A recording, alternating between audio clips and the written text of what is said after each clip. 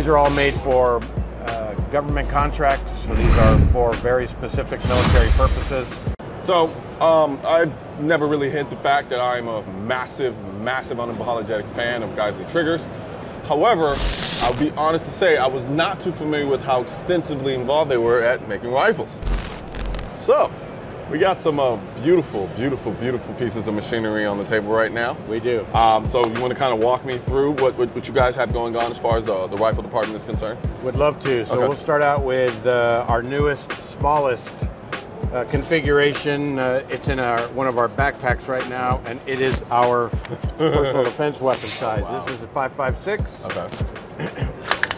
Uh, this is, these are all made for government contracts. So these are for very specific military purposes. Uh, as with everything we design and develop for the military, the amount of time and investment we put into the operating system, Okay. on how it's gassed, on every aspect of this weapon to optimize uh, the, the uh, characteristics of it and the consistency of it. It is a fine shooting uh, rifle. Gotcha. Uh, one that we were shooting on Monday targets out to 400 meters with, with an 8 inch barrel. That's what I was going to ask you. It's a very compact package for a very specific role and yet very capable out to distances you wouldn't anticipate with such a small rifle. Yeah, understatement of the year. and so, I mean, this is Geissele ground up through and through. Everything, there's nothing.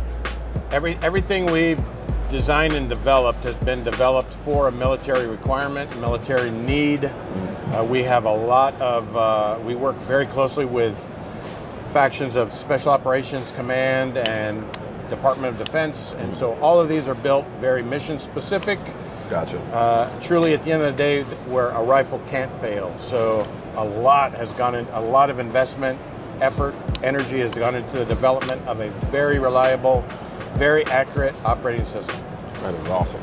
I like this little bad guy. Next up, this is uh, one of our.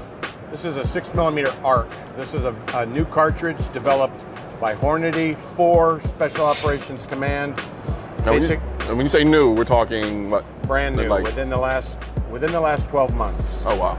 Uh, this basically is a requirement that came down by Special Operations for a rifle to replace a 308 caliber semi-automatic rifle Gotcha. with a need to reduce weight and extend the range or capability of that 308 cartridge. So Hornady developed a beautiful cartridge called six millimeter arc, Okay. uh, and uh, once we got once we got invited to build and develop a rifle around that cartridge, we learned real quick that we had to build an entire rifle, not just augment an existing rifle. So uh, a lot of blood, sweat, and tears went into development of this rifle to support the cartridge. Gotcha. So I know people are going to ask, like, with this platform, six millimeter arc, what what is the what does six millimeter arc do that's better than the 30? So, uh, compared to a 308, which is a military, very common military caliber for in a, in a semi-automatic rifle, Uh-huh. this package, what you're seeing right here, uh, basically provides an, a capability that is greater or farther than a 308 caliber Okay. at half the weight. So by the by special operations going to this rifle, they've essentially reduced the weight requirement in half, but extended the range out to 1,300 meters. So it's mind-boggling. It's a very fun gun to shoot, and again, we've got a, an incredible amount of proprietary gas uh, system design built into the rifle, Okay. along with geometry to uh, facilitate very smooth, reliable feeding of the cartridge into the chamber, which at the end of the day provides a very soft shooting rifle. Uh, a rifle that I can shoot a target at, at extended ranges, see the impact, self-correct, and re-engage before Gotcha. So you. you're not getting that that the the 308 disturbance in the Exactly. optic. Okay. It's a beautiful rifle. Uh, it's a rifle. This has become my new favorite caliber, my new favorite rifle, and there's nothing more fun to shoot. I know you were just watching the video. I just want to take a quick second to thank the sponsor of this video, which is Euro Optic. Right now, they are killing it with their red shipping program. So thank you, Euro Optic, for supporting the channel. I mean, I like the name. I can tell you that much.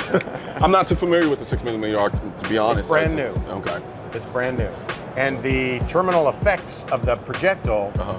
is dramatically increases lethality for our combat forces, far exceeding the capability of the current 308 caliber projectile. So Gotcha. the- it, it, it's a it's a win-win-win in, in every, and, and I'm confident you're going to see a lot more of this caliber and a lot more of this rifle. Definitely within special operations, but throughout Department of Defense, I'm very confident. Gotcha. The third uh, lane we've kind of worked on again Uh-huh. exclusively with Special Operations Command is uh, again focused on the 308 caliber cartridge and the need to to exceed its capabilities, to extend the range of our military snipers. Okay. Special Operations put out requirements uh, that re- that looked at a new caliber design, 6.5 Creedmoor, and so they had some very uh, arduous requirements for a semi-automatic rifle in 6.5 Creedmoor with a one MOA accuracy capability out to 1,500 meters. Uh, and uh, what you see there is our configuration for that government contract. What's the barrel length on this? The barrel length on this is 20 inches. 20 inches. Okay. Uh, and again, that gets that gets the cartridge at the right muzzle velocity to get me at those extended ranges. This is going to be the new sniper support rifle uh, for military special operations to support the snipers in their offensive and defensive roles. Got it. I just love the beefiness of the six five platform. I love it. Absolutely love it. So whether so whether it be 5.56 in a 5.56 in a backpack, or if it's a six millimeter arc in a rifle, the size and weight of their uh, M4 rifles, or if it's a 6.5 Creedmoor in a very rugged, very reliable 6.5 Creedmoor semi-automatic sniper rifle, uh, we we can provide it all. I see. Absolutely. So I'm noticing a bit of a bedazzlement and bejewel here. Um, this kind of little O-ring. What what is the purpose of that? I mean, I my, I know what my mind tells me it is, but So it- it's interesting you picked up on that. That is basically to ruggedize this rail to a lot of a, a lot of the, the uh, use of these weapons includes or utilizes a sling, okay. and that's a sling capture uh, point that that in, it increases the strength, reliability, so that it, the sling being put taken on and off won't degrade the aluminum. Gotcha. And as far as uh, proprietary on the six millimeter arc magazine wise, um, what what would it be looking at? Is it So that's another thing we found going down this path, building a six millimeter arc rifle. We we learned that there was no good commercially available magazine. So we basically had to develop our own.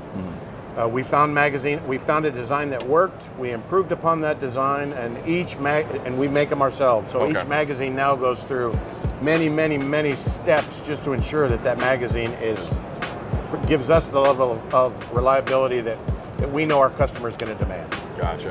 And so, as far as availability to the public, um, which one of these platforms are going to be available to the public? all uh, the one you've had, got in your hand, the 6.5 Creedmoor immediately, the 6 millimeter arc immediately, Okay.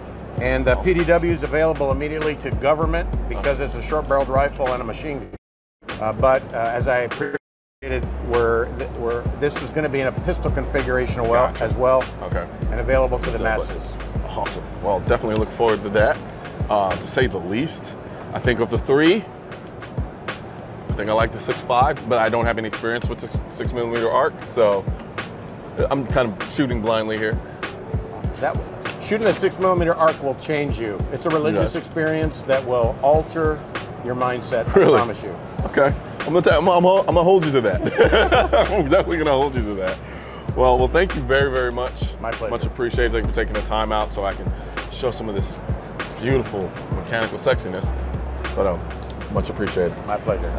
Guns aren't political. That's why I need your help getting this message to spread on YouTube by clicking the thumbs up button, leaving a comment to let me know what you think of the video, then subscribing to the channel. But most importantly, click that bell symbol. For products featured in this video, click the links in the description.